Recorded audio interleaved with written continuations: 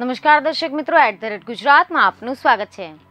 ગુજરાતમાં હવે ધીરે ધીરે ઠંડીની શરૂઆત થઈ રહી છે અને આ વખતે દિવાળીના તહેવારોની પહેલાના દિવસોમાં ઠંડી વધવાની શક્યતાઓ પણ હવામાન વિભાગે દર્શાવી છે.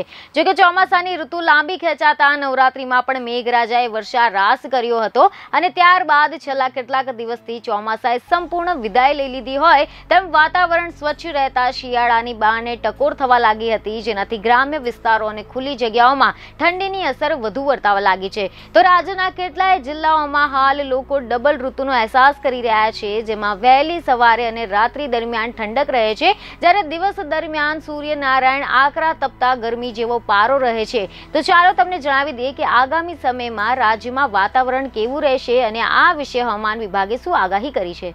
તમને જણાવી દઈએ કે અહેવાલ અનુસાર આ વર્ષે ઓક્ટોબર મહિનામાં વાતાવરણમાં ભારે ફેરફાર જોવા મળ્યો છે અને મહિનાની શરૂઆતમાં જ આ વર્ષે રાજ્યના અમુક જિલ્લાઓમાં વરસાદ જોવા મળ્યો હતો. સામાન્ય રીતે સપ્ટેમ્બરમાં ચોમાસું વિદાય લઈ લે છે, પરંતુ આ વર્ષે ઓક્ટોબરની શરૂઆતમાં ચોમાસાએ વિદાય લીધી હતી. જો કે હજુ તો ચોમાસું ગયે, માંડ પંદર દિવસ થયા હશે અને ત્યાં જ રાજ્યમાં હવે ઠંડીનો અનુભવ થવા લાગ્યો છે. ત્યારથી જ ઠંડીનું પ્રમાણ અમુક જિલ્લાઓમાં જોવા મળી રહ્યું છે, જેમાં રાજ્યના ઉત્તર પૂર્વ ભાગોમાં ઠંડા પવનો ફૂંકાવાનું શરૂ થઈ ગયું છે અને હાલ જે રીતે અચાનકથી ઠંડા પવનો ફૂંકાઈ રહ્યા છે, તે પરથી લાગી રહ્યું છે કે નવેમ્બરમાં ઠંડીનો ચમકારો વધશે.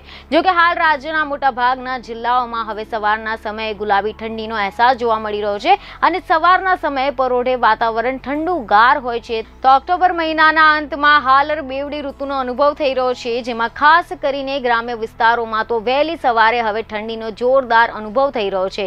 ત્યારે રિપોર્ટ મુજબ જાણવા મળી રહ્યું છે કે નવેમ્બર મહિનામાં ઠંડીની બરાબર શરૂઆત થઈ જશે, જેમાં દાહોદ અને મહીસાગરમાં વાતાવરણમાં આજથી પલટો જોવા મળશે તેવી હવામાન વિભાગ દ્વારા આગાહી કરવામાં આવી છે અને આ વર્ષે ચોમાસું ભલે મોડું આવ્યું હતું, પરંતુ શિયાળાની શરૂઆત અત્યારથી જ થઈ ગઈ છે.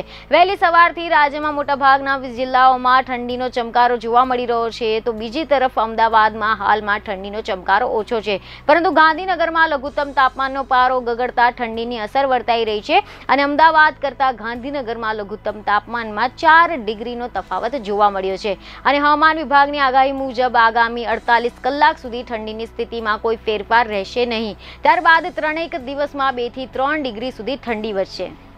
બીજની ખબરો સાથે ફરી મળીશું. ધન્યવાદ.